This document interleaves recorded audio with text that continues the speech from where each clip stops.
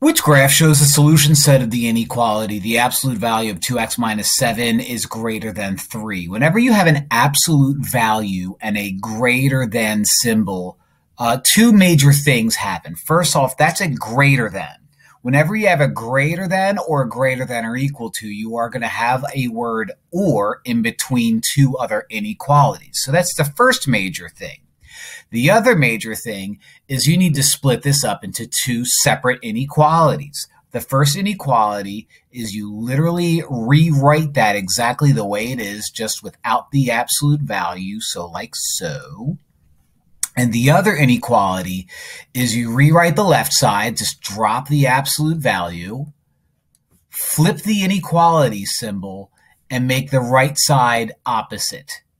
Okay. So what we have going on here is we have two separate inequalities that we need to solve for.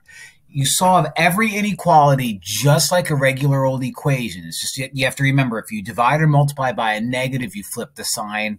I don't think that's going to happen here. So I'm just going to add 7, add 7, cross u out. That gives you 2x is greater than 10 divide by 2, which is a positive, so no flipping of the signs. x is greater than 5.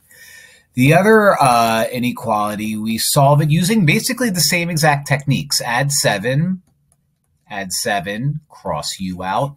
You get 2x is less than 4 divide both sides by 2, divide both sides by 2, no flipping of the signs, x is less than 2. Now again, the word that was in between was or.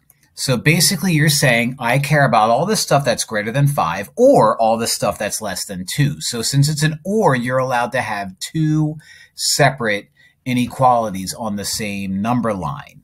So one of those inequalities is going to be x is less than 2, which means you put a circle at 2, go to the left.